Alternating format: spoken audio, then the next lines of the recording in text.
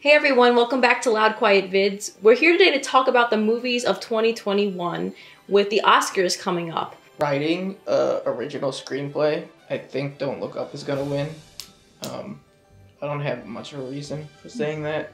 Just kind Just of off a a gut hunch. feeling. Yeah, just kind of a, a gut feeling. Pick just a lot of stuff up from what has been happening to us in the last few years, um, and then taking all of that and jamming it into a movie. Hey, About Steven, do you know world. what it was an allegory for? Do you know? I didn't hate it as much as Dan, but I could understand people being annoyed by, by it. But I guess I would give it to King Richard out of Don't Look Up and King Richard because those are the only two movies I've seen. Uh, I think Belfast is going to win. Uh, real gut feeling here. Uh, just because I think out of all the films nominated, Belfast seems to have the most successful Oscar campaign. And I've seen so many Oscar type voters like sing their praises for it, even though it's not exactly the biggest critical hit. As far as what I would personally vote for, it's a toss up between Licorice Pizza and The Worst Person in the World. Uh, if I had to choose right now, I would say I'm going with Worst Person in the World. Just kind of condense the entire millennial experience into a little over two hours. Uh, you two haven't seen it, right? No, not yet. I want to though. It's great. Cool. One of my favorites. I've only seen King Richard and Don't Look Up. I so out of those two, I would give a writing award to King Richard. I didn't expect to like that movie as much as I did because I, I feel like I was more excited to see like a story focused on Venus and Serena versus a story focused on their father. But the when I finally understood like what an impact he had on their career and like his parenting style, I really loved the whole story. Um, so that's that would be my pick. Um, but just based off of what I've heard, I think it could possibly go to Licorice Pizza.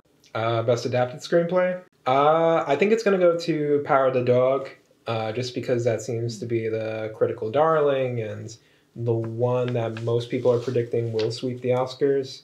So yeah, uh, as far as like what will, what I think should win, I'd give it to Drive My Car. Three hours, uh, very like deep, emotional. uh, you had to turn it off, right? Midway well, through. not because it was too emotional, because draining, just because we watched West Side Story and Drive My Car two in a row, and it was just getting too.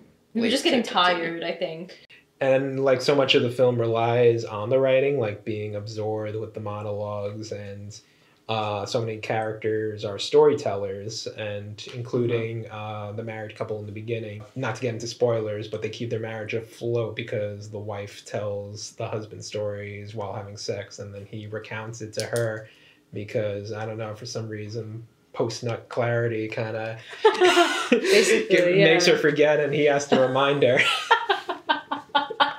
It works in the movie but yeah that's who i'd give it to I, I would agree with Drive My Car. Um, I I don't know. This movie, it was that, Like that- should win or I think should, and I, I'm gonna say I'm gonna say that's my prediction too. okay Um, interesting I just I just thought it was so clever. Like, it was so interesting and then it all just ties in so well. If it was such a long script like this, um everything kind of made sense and added up and that's I feel like such a challenge with writing and it was just done so well. So you know, hopefully, but I, I'm gonna say that's my prediction. So, um, okay, I'll do adapted screenplay quickly. Um, so I agree with Dan that I think Power of the Dog is going to be the darling of the Academy and sweep a bunch, but I feel like they're gonna know that going in, so they're gonna give Best Adapted Screenplay to The Lost Daughter, because I feel like that's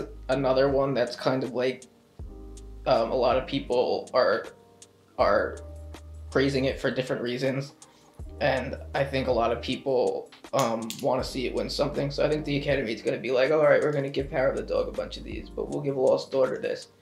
And I also want Drive My Car to win.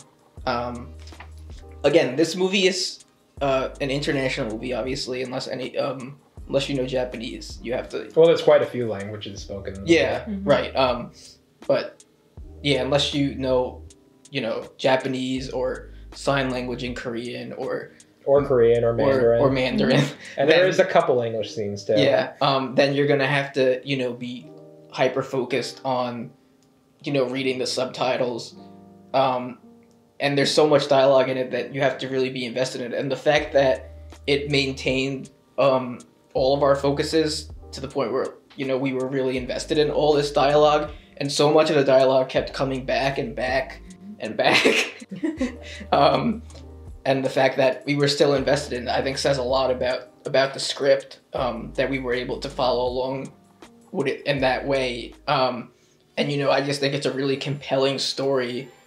Um, and if you just you know read the synopsis, then you wouldn't think it would be that compelling. But just the way that you know um, one of the characters' voices is just heard throughout it, th- throughout it, even when you think you're not going to hear from them anymore. Um, and I think you know every um, supporting character, and main character plays a huge purpose in telling telling the story, and I you know I just think that you know it's a really well done story that um, that all really all the dialogue that is written in a three hour long foreign film just really um, entertained me throughout. All right, so we want to know what you guys think. What were your favorites from last year, and what are your predictions? What are your least favorites? What shouldn't have been on here? We'll see you next time.